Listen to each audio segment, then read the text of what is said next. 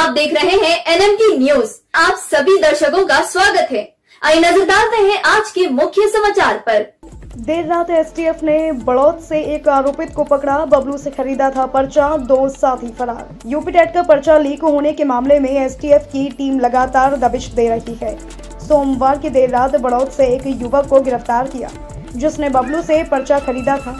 उसके दो साथी फरार हैं, जिनकी तलाश में दबिश दी जा रही है। वहीं टीम को शक है कि पकड़ा गया आरोपित दरोगा भर्ती परीक्षा में सेंधमारी कर चुका है। वहीं यूपी टेट की परीक्षा का पेपर आउट करने के मामले में मेरठ एसटीएफ के इंस्पेक्टर सुनील कुमार ने बड़ौद कोतवाली में राहुल चौधरी निवासी, ग्राम छछरपुर फिरोज निवासी, ग्राम किरठल, बबलू उर्फ़ बलराम निवासी, ग्राम शहडबर शाहपुर के खिलाफ मुकदमा दर्ज कराया गया। राहुल की जनता वैदिक डिग्री कॉलेज बड़ौद के पास जूतों की दुकान है। एसटीएफ के सीईओ ब्रजेश सिंह ने बताया कि बड़ौद के छतरपुर से एक युवक को गिरफ़्तार किया गया। उसने पूछताछ में अपना नाम राहुल बताया। पकड़े गए आरोपित ने बबलू उर्फ़ अजय से पर्चा खरीदा था। हालाँकि देर रात से ही धरपकड़ शुरू हो गई थी।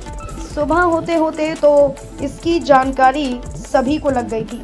इसीलिए राहुल ने पर्चे के बारे में किसी को नहीं बताया था। हालाँकि इसकी जानकारी उसकी बुआ के लड़के बलराम और एक साथी फिरोज को थी। अभी दोनों फरार हैं, उनकी तलाश में लगातार दबिश दी जा रही है। जल्द ही उनको भी पकड़ लिया जाएगा। उधर पता चला है कि राहुल और उसके साथी दरोगा भर्ती परीक्षा में भी सेंधमारी कर चुके हैं। इसको लेकर भी टीम उससे पूछताछ कर रही है और उम्मीद है कि जल्द ही टीम को और कामयाबी हाथ लगेगी। India first digital TV media Navi Mumbai Times news ताज़ा तरीन देश विदेश की खबरों को देखने के लिए YouTube पर सर्च करें एनएमटी न्यूज़ एनएमटी न्यूज़ को सब्सक्राइब करें और बेल आइकन को प्रेस करें। और पाएँ उत्तर प्रदेश, दिल्ली, महाराष्ट्र, गुजरात, नवी मुंबई, ठाणे की ताज़ा तरीन खबरें सिर्फ़ नवी मुंबई टाइम्स न्यूज़ पर।